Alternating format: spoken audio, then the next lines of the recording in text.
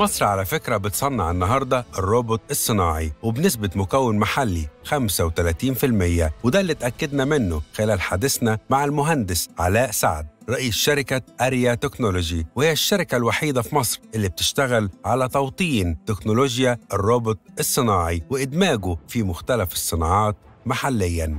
إحنا بنتكلم في robots وحاجات كده ما بنشوفهاش غير بره يعني. طيب دلوقتي إحنا جايبين روبوت للصناعة.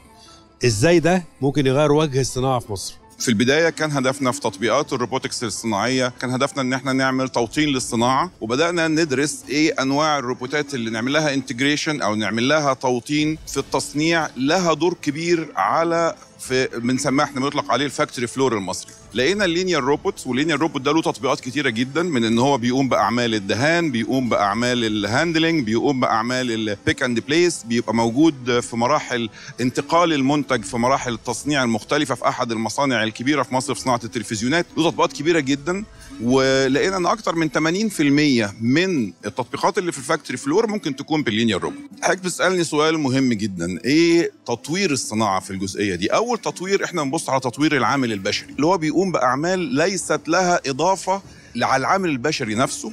وده اللي كان دورنا إن إحنا نشيل هذه الأعمال منه عشان يبدأ تطوير نفسه بإن هو يعمل تشغيل لمثل هذه المعدات أو يعمل صيانة ليها أو يعمل تصميم ليها أو تطبيقات مختلفة في المستقبل. ثانيا إن إحنا بندور على تطوير الصناعة بإن إحنا بننتجريت هذه المعدات علشان دقة التنفيذ هي ما بيجيلهاش أي نوع من الرتابة ولا نوع من الملل اللي بتحصل للعامل البشري لو بيعمل حاجة متكررة في إن هو بيشيل حاجة يحطها من مكان في مكان. دخول مثل هذه المعدات بتحافظ على الجودة الجوده بعض المصانع عملنا عندهم أول تطبيق للروبوت في إن هو بيشيل المنتج من جوه المعدة من جوه مكن حقن البلاستيك خارج المعدة. قالوا لنا بعد ما اشتغل عندهم مثل هذه المعدات قالوا إن الزيادة الإنتاجية وصلت ل 10% وإحنا بنجمعه مش كده؟ إحنا التصميم كله مصري التصنيع كله مصري التجميع كله عندنا يعني مصري. أنا عندي مصنع ومحتاج استخدام ال linear ده.